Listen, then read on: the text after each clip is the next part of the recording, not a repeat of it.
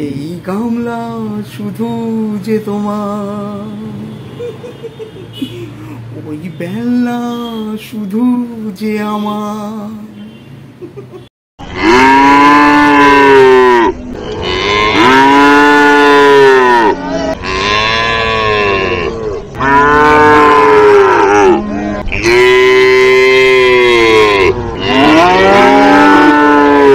মা ওই মা খোলো না দরজাটা খোলো না মা খিদে পেয়েছে। আহ, দাঁড়া তো বাপু, তোর বড্ড খাই খাই খাই খাই খাই খাই।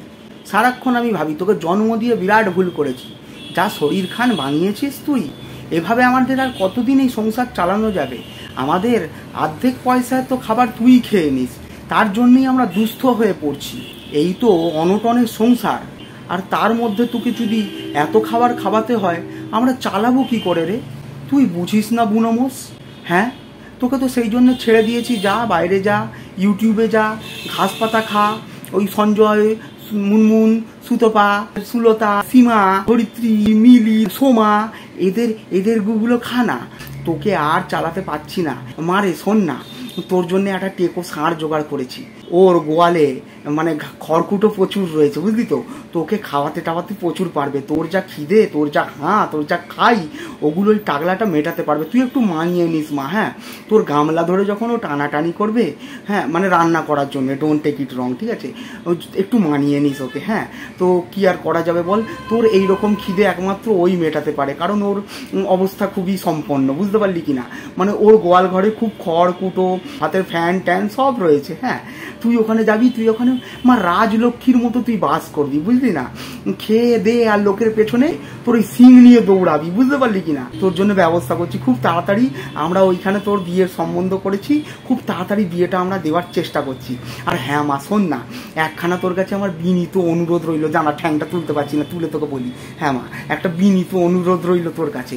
তুই যখন যাবি না বিয়ের পরে, তো আমাদের তো জানিস এরকম দুরাবস্থা। হ্যাঁ ও তো জানতেই পারছিস যে ওর অবস্থা খুব ভালো। মানে সম্পন্ন ঘরের মানে ষাঁড় ওটা হ্যাঁ। শুধু একটু চুল নেই টাকে কি আছে তাতে? হচ্ছে যাই হোক। তুই না, যাওয়ার পরে একটু আমাদেরকে ওখানে নিয়ে যাস হ্যাঁ? কারণ জানিস তো তোর বাপটা চালাতে পারছে না হ্যাঁ? আর অনেকবার আমিও চেষ্টা করেছি যদি ওই যেটা রয়েছে তোর ইউটিউবের গুন্ডারে যদি একবার ছিটকিনি তুলে ঢোকে, শুনেছিলাম আগের এপিসোডে নাকি আমার ডেকেছিল, তোকে আর আমাকেও ডেকেছে। তো যাই হোক, যখন মনে হবে যাওয়ার তো যাব।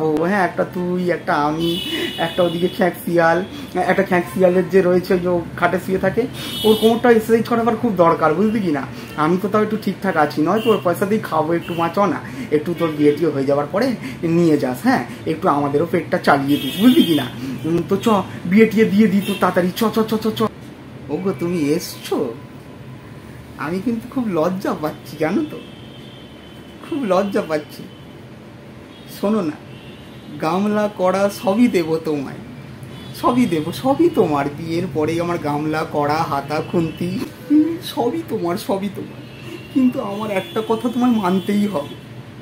রাখবে তো বলো, এই রাত তোমার আমার এই খাট তোমার আমার। শুধু দুজনা এই গামলা শুধু যে তোমার। ওই বেলা শুধু যে আমার। শুধু দুজনার। বলছি, শোনো না গান টান তো শোনালাম, তারপরে যা হবার হবে নয়, ঠিক আছে?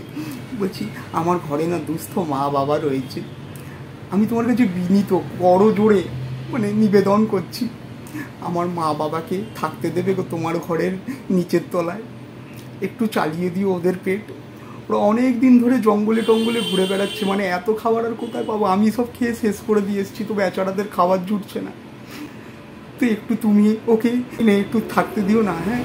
তোমার তো অগাধ জঙ্গল রয়েছে sorry don't take it wrong ঠিক আছে? তোমার তো অগাধ সম্পত্তি রয়েছে। তো তুমি একটু ওদেরকে খাইও দিনে, রাতে, ঠিক আছে? আর বাকি আমি ইউটিউবে নেবে, জোগাড় করার চেষ্টা করব হ্যাঁ?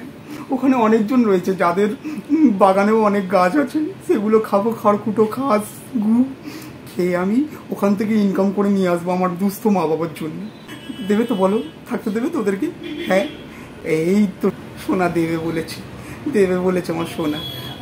তো চলো আর টাইম পাস করব না। গামলা নাও, রান্না করো।